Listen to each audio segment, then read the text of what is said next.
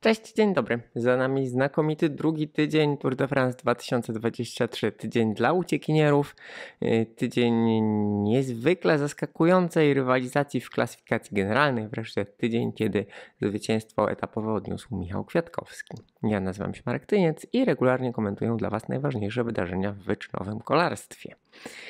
Tak, to jest naprawdę rewelacyjny tour, y, który każdego dnia, każdego dnia e, zaskakuje, każdego dnia obserwujemy niespotykane rozstrzygnięcia. E, I choć e, patrząc na listę zwycięzców, no to w zasadzie można byłoby powiedzieć, że to taki typowy drugi tydzień wielkiego turu, bo każdy etap, nie każdy etap, prawie każdy etap górski kończył się ucieczką górskim lub górzysty, bo mieliśmy ten przejazd między masywem centralnym a Alpami. Zatem po kolei, no, Pelo Bilbao z ucieczki, Jasper Philipsen mm, po finiszu z peletonu spodziewanym, no i tutaj e, już zakończę w zasadzie temat Jaspera Philipsena i sprinterów e, drużyna Alpesin dominuje w sprintach. E, tym razem Philipsen finiszował bez pomocy Matthew van der Poola, mm, a i tak był zdecydowanie najszybszy, choć jego rywale próbowali na różne sposoby, byli rozprowadzeni znakomicie, to Philipsen ich zgasił na finiszu i, i, wygrał. Zdecydowanie jest ewidentnie najszybszym sprinterem w tegorocznym Tour de France. Musi przejechać ostatnie górzyste etapy w limicie czasu i w zasadzie zielona koszulka jest yy, zapewniona yy, dla niego. Oprócz tego Joni Zagierę po ucieczce, znów na górzystym etapie Michał Kwiatkowski po ucieczce na Grand Colombier e, i Wout Poels e, na Saint-Germain e, Mont Blanc, czyli na podjeździe LBT również po ucieczce. Carlos Rodriguez z grupy faworytów na etapie z Żuplę do Morzin i to był jedyny etap, gdzie na, w górzystym terenie w tym tygodniu jakby finiszowali faworyci, a nie ucieczka. E, w związku z tym to wygląda właśnie jak typowy drugi tydzień wielkiego turu, ale nie jest. Bo po pierwsze, e, każda z tych ucieczek, każda z tych ucieczek e, zawiązywała się bardzo długo. Rywalizacja o zabranie się do tych ucieczek trwała wiele kilometrów, kilkadziesiąt kilometrów i było absolutnie dzikie tempo. To rzutowało w ogóle na tempo na każdym z etapów. Generalnie w tym roku kolarze po raz kolejny mm, przyjeżdżają bardzo często przed najszybszym założonym harmonogramem, bo pamiętajcie, że organizatorzy wyścigu zawsze zakładają trzy średnie prędkości, trzy jak takie widełki, e, około 20-30 minutowe dla całego etapu, w zależności od tego, jak szybko będą jechali kolarze, e, jak będzie wiał wiatr, jakie będą warunki. E, no i generalnie kolarze przyjeżdżają 5, 7, 10 minut szybciej niż najszybciej zakładany harmonogram i tak w zasadzie jest każdego dnia. Co pokazuje, jak intensywny jest to wyścig, i realnie nie ma dnia odpoczynku, nawet jeżeli jest to etap dla sprinterów, to ściganie jest e, bardzo, bardzo e, intensywne. W związku z tym no, będą kolejni kolarze w, w ostatnim tygodniu będą łapali kryzysy, gorsze dni, e, bo realnie tak się nie da. To jest naprawdę bardzo obciążające dla organizmów, nawet jeżeli mamy aerodynamikę i kolarze jadą szybciej ze względu na sprzęt, to po prostu zrobili sami sobie, zrobili ten wyścig e, bardzo, bardzo trudnym.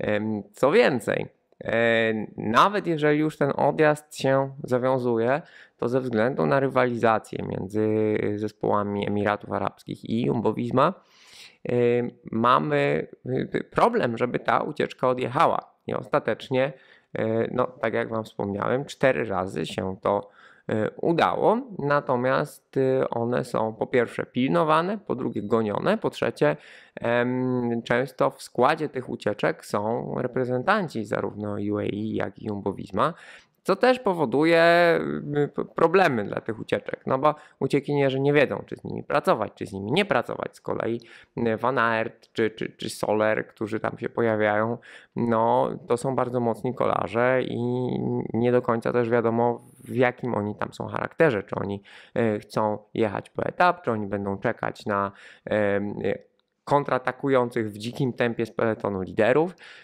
więc nie wiadomo.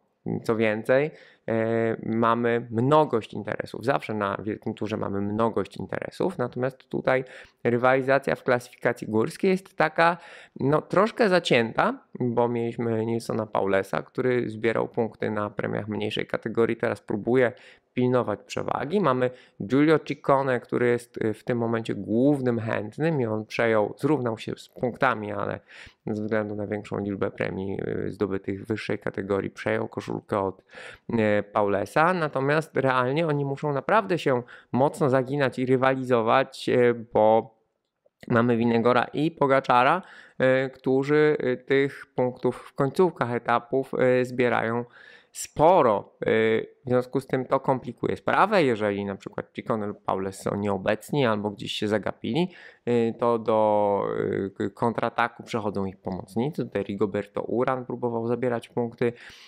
Ciccone po to, żeby Ciccone miał ich mniej, aby koszulkę obronił Paules.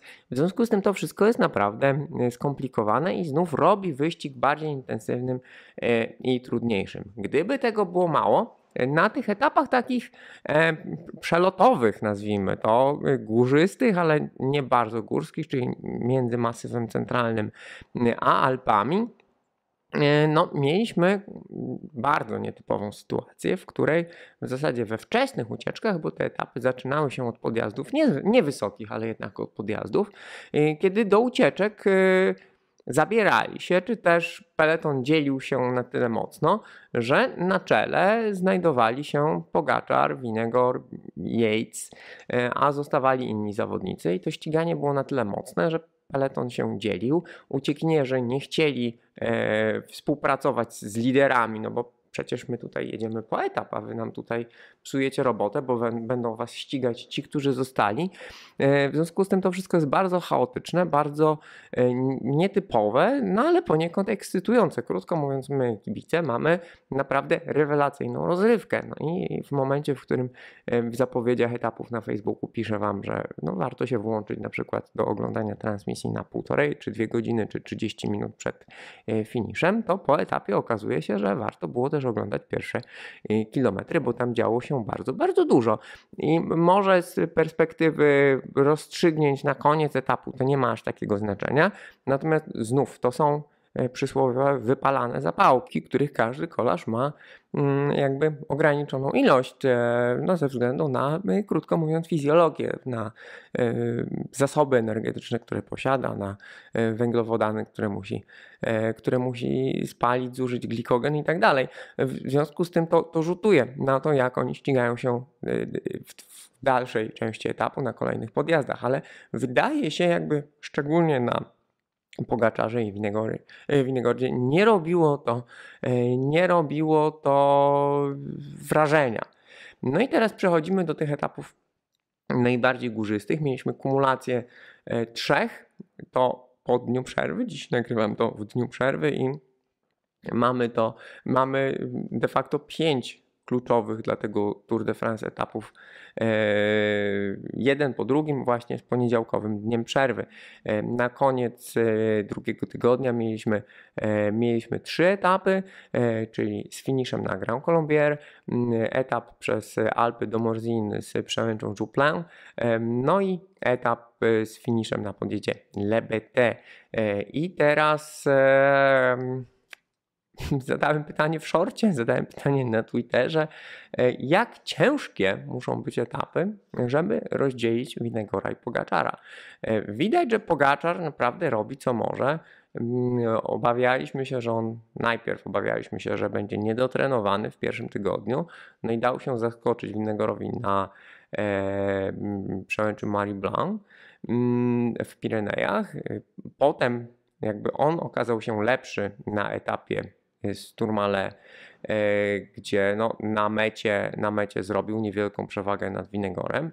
E, potem odrabiał sekundy na dynamicznych finiszach i wydawało się, że to on przeszedł do ofensywy. Również na Grand Colombier e, był w końcówce nieznacznie, nieznacznie lepszy od, od Winegora. Natomiast już na już na Jouplin, e, próbował Winegora złamać, e, no odpalił naprawdę atomowy atak, e, ale Winegor, choć nie był w stanie nadążyć za tym przyspieszeniem, e, to utrzymywał kilkusekundową stratę, którą ostatecznie, którą ostatecznie zniwelował. Pogaczar w jakiś sposób się poddał, no i tam e, na żuplę mieliśmy sprint po bonusowe sekundy zaplanowany, który został zepsuty przez, który został zepsuty przez motocyklistę fotografa.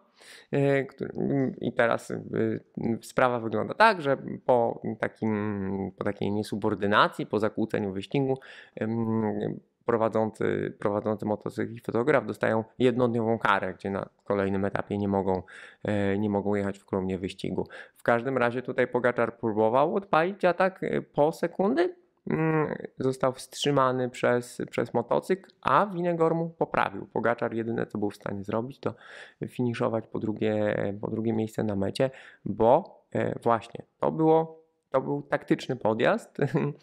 to był taktyczny podjazd i e, Pogaczar z Winegorem zwolnili przed tym sprintem po sekundy. Zostali wkrótce dogonieni przez Carlosa Rodrigueza z Inosu, który pojechał e, po, ostatecznie po zwycięstwo etapowe.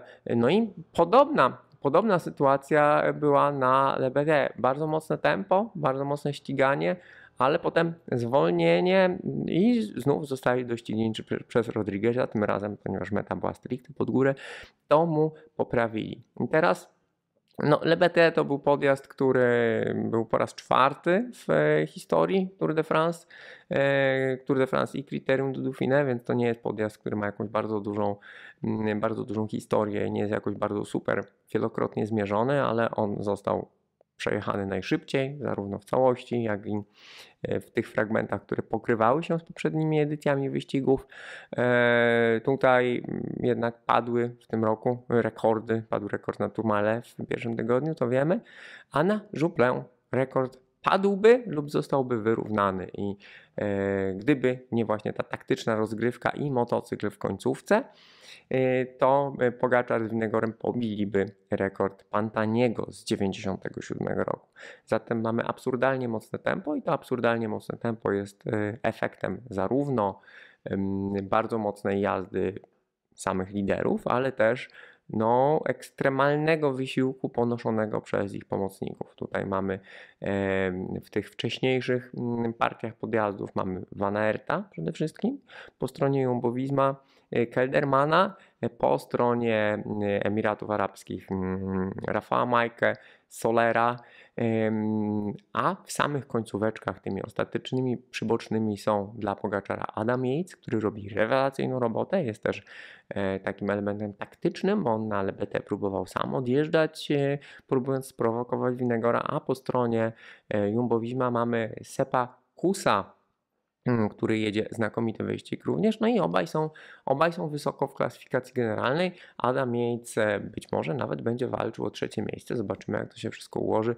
Kus jest szósty, co też jest jego e, znakomitym wynikiem. Tutaj warto podkreślić, że e, w jednej z kraks spowodowanych przez kibica filmującego kolarzy telefonem, który wylazł pod koła, uderzył jednego z zawodnikiem, Kus się poobijał dyskusją poobijał i to jest y, też warte wspomnienia, bo może ten kluczowy pomocnik Winegora nie będzie w pełni dysponowany i teraz też nie wiemy, e, czy Kus oraz e, Van Hojdong, którzy e, uczestniczyli w tej krasie, kraksie, czy ich jakby bycie, bycie poszkodowanymi nie wpłynęło na rozegranie podjazdu do, do LBT.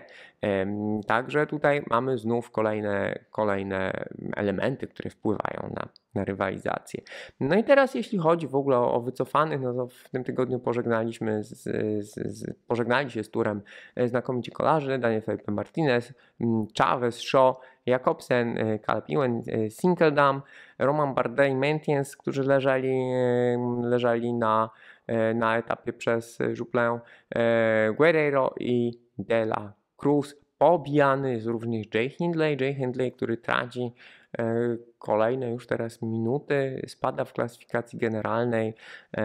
No i tutaj też właśnie nie wiemy, czy on gaśnie po tym pięknym wystrzale w Pirenejach e, na etapie z Marie Blanc, czy on gaśnie, gaśnie jego dyspozycja, czy cierpi z powodu, e, cierpi z powodu obrażeń. Wielką niewiadomą w tym tygodniu była jazda Toma Pitcocka, który spisywał się znakomicie na Grand Colombier, był y, trzeci wśród faworytów, e, ale w kolejnych dniach już zaczął, już zaczął gasnąć, no i zobaczymy jak będzie dalej wyglądał ten jego eksperyment z jazdą na klasyfikację generalną i testowania swoich możliwości, czy on dalej będzie miał możliwość testowania tych swoich możliwości, czy jednak ze względu na rewelacyjną postawę Carlosa Rodrigueza zostanie oddelegowany do pomocy, tym bardziej, że właśnie Daniel Felipe Martinez e, musiał się wycofać. E, jeśli chodzi o Michała Kwiatkowskiego, to tak, mamy piękny polski akcent na Grand Colombier Polak. Pojechał w odjazd, ten odjazd właśnie był typowy dla tegorocznego Tour de France, to znaczy długo, długo nie mógł zyskać przewagi, ostatecznie został odpuszczony nieco przez telefon, podnóża, e, przez peleton podnóża Grand Colombier. E, mieli około 4 minut przewagi, to wystarczyło, e, by się obronić. E, warto podkreślić, że Grand Colombier to był kolejny podjazd, na którym Pogaczar i Winegor pobili, pobili rekord podjazdu, a mimo to Michał Kwiatkowski się obronił. E, można już o nim mówić z, pozycji weterana, bo jest bardzo zasłużonym, zasłużonym zawodnikiem w zawodowym peletonie. Więc polski weteran, weteran drużyny Ineos Grenadiers, wcześniej Sky, odniósł piękny, piękny etapowy sukces, jeden z ważniejszych w swojej karierze, jeden z bardziej spektakularnych w swojej karierze. Sam mówi, że to był jego jeden z najcięższych y, dni w karierze. Swoją drogą był to też prawdopodobnie jeden z najlepszych występów na długich podjazdach w wykonaniu Michała Kwiatkowskiego. Mm, zatem y, no, piękny polski akcent, ale tutaj muszę podkreślić, y, że chyba lepiej on został nawet odebrany E, na świecie, na zachodzie, w świecie anglojęzycznym niż w Polsce, ponieważ my mamy ten cały miks emocji związanych z oczekiwaniami e, względem Michała Kwiatkowskiego, pewnego niezrozumienia, e, w jaki sposób on rozgrywa swoją karierę. Natomiast komentatorzy anglojęzyczni, koledzy z peletonu, rywale z peletonu, no, doceniają jego rolę jako właśnie tego super doświadczonego, super oddanego, super utalentowanego zawodnika, który jest w stanie cały czas odnosić ważne, e, ważne sukcesy raz na jakiś czas, ale jednak e, tutaj no, naprawdę wielkie słowa uznania, wielki e, szacunek mm, w zasadzie za każdym razem, kiedy Michał Kwiatkowski, bo to też jest ważne, on jest jednym z tych zawodników, którzy właśnie mają ten wielki tour, gdzie próbują wielokrotnie. To była jego trzecia próba zabrania się w ucieczkę dnia, znaczy próba, była jego trzecia ucieczka dnia, tych prób było o wiele więcej, bo on próbował się zabierać w ucieczki wiele razy więcej. E, uczestniczył w trzech ucieczkach takich dużych, za trzecim razem znalazł się we właściwej, no i zwyciężył i tak jak wspomniałem, e, zachodni komentatorzy naprawdę doceniają go za każdym razem, kiedy on e, pojawia się w ucieczce, to doceniają kim jest, co zrobił, jak jeździ, jaką ma etykę pracy, jak jest doświadczony, jak, jak znakomitym jest kolarzem. Więc nieustająco e, polecam e, anglojęzyczny komentarz, choćby e, z tego względu, że ten insight jest dużo głębszy niż takie czyste emocje względem tego lub innego zawodnika, które obserwujemy w polskim Eurosporcie. No i to, to by było w zasadzie tyle. Rzut oka, na, rzut oka na klasyfikację, to by było tyle, zanim oczywiście, zanim oczywiście przejdziemy do zapowiedzi kolejnego tygodnia, więc to, to by było tyle, jeśli chodzi o, o opis wydarzeń. E, w klasyfikacji generalnej no, niezwykła sytuacja, zaledwie 10 sekund y, przewagi Winegora nad Pogaczarem. To jest kwestia jednego dobrego finiszu, jednego mikrodefektu, jakiegoś zawahania by ta różnica przeszła z jednego zawodnika na drugiego. Na trzecim miejscu Carlos Rodriguez, ale już 5 minut 21 sekund straty. No i goniący go Adam Yates 5.40 straty. Jay Hindley, tak jak wspomniałem, traci 6.38. Sepp Kus, e, pomocnik, tak jak Adam Yates 9.16. Peo Bilbao który no, zrobił przewagę dzięki mm, ucieczce, ale też w górach mm, traci. 10-11 Simon Yates, który plącze się w jakieś dziwne sytuacje i musi odrabiać. 10-48 David Gody i Guillaume Martin ponad 14 minut straty. Oni wyprzedzili Felixa Gala Pitcocka awansuje w klasyfikacji generalnej. Na dalszych miejscach już są Pino i Landa. Tutaj e, również właśnie Brytyjczycy określają, że to jest gra w węże i drabiny, znana planszówka, gdzie zawodnik wspina się, potem wyrzuca niewłaściwą liczbę oczek i spada, e, ześlizguje się po grzbiecie węża i tak wygląda regularnie jazda Guillaume'a Martena w klasyfikacji generalnej. Zabiera się do ucieczki, zyskuje przewagę, następnego dnia ma kryzys i słabnie. No i tak to wygląda w kwestii właśnie głównie Martena, e, Pino, Landy i Peo Bilbao. Zatem rywalizacja o pierwsze miejsce między Winegorem i Pogaczarem i rywalizacja o trzecie miejsce między Rodriguezem i Yatesem i Hindleyem. No i jak wygląda zapowiedź ostatniego tygodnia? Ostatni tydzień, słuchajcie, zostały nam tylko dwa górskie etapy jeszcze. Zaledwie tak dwa górskie etapy. Yy, w środę królewski etap yy, do Courchevel, 166 km, 5100 metrów przewyższenia. To będzie kluczowy etap. Długi podjazd yy, to będzie również bardzo ważny ze względu na klasyfikację górską, bo na Col de la Los, głównym ostatnim podjeździe dnia, będzie, będą podwójne punkty dla zwycięzcy 40, więc Ciccone, Paules, czy kto będzie chętny, może Gal jednak. E, no, musi być w ucieczce i musi być w ucieczce z dużą przewagą przed Winegorem i Pogaczarem, bo inaczej to któryś z nich e, zgarnie koszulkę w grochy, ale meta nie jest na Col de la Los, najwyższy punkt wyścigu, ponad 2300 metrów. E, tam jest ta mm, ścieżka dla rowerów, oni będą jechali tą alejką rowerową specjalnie wytyczoną do takiej dużej wysokości, w związku z tym ona się jest kręta. Raz, że jest na dużej wysokości, dwa, że jest kręta i e, o nieregularnej stromiźnie i również taki jest zjazd krótki, ale jednak techniczny zjazd do mety.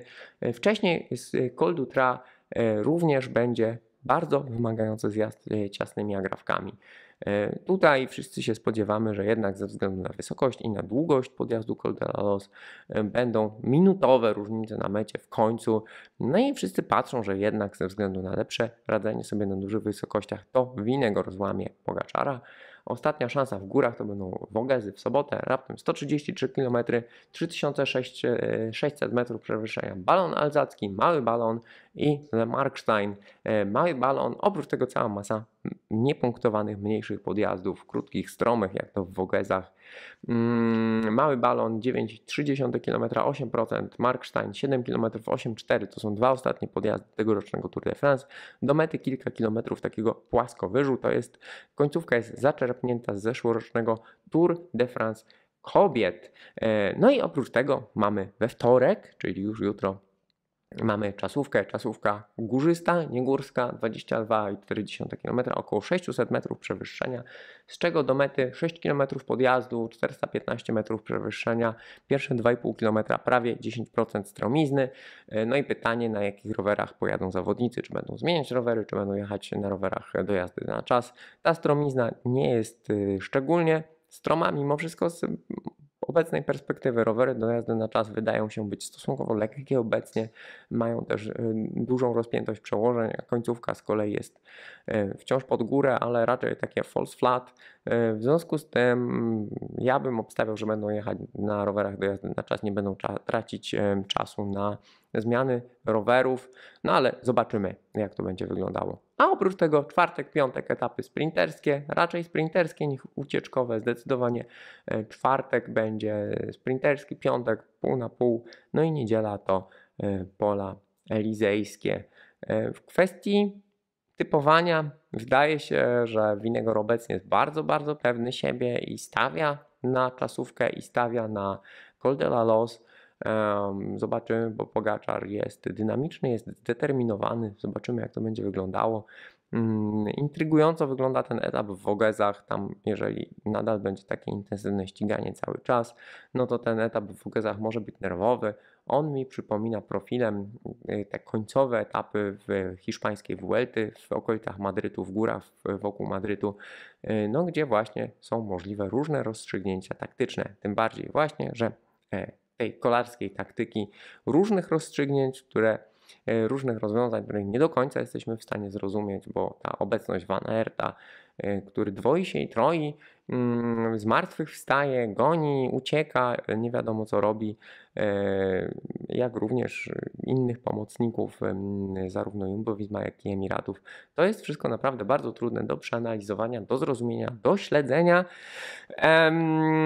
Więc jeśli tak to będzie wyglądało, to ten etap może być pełnym chaosem, no chyba, że czasówka i Col la Los y, podzielą, podzielą stawkę wyraźnie i zarówno pierwsze, jak i trzecie miejsce po tych dwóch etapach będą rozstrzygnięte. No i moi drodzy, to by było na tyle. E, Zapraszam Was do subskrybowania tego kanału. E, Dłuższe podsumowania, takie jak to, będą obecne w wersji oczywiście e, podcastowej również. Natomiast codziennie na YouTubie są shorty minutowe, szybciutkie podsumowanie etapu z jakąś mikroanalizą, a większe formy pisemne trafiają na Facebooka. Dzięki wielkie, do zobaczenia, do usłyszenia, cześć.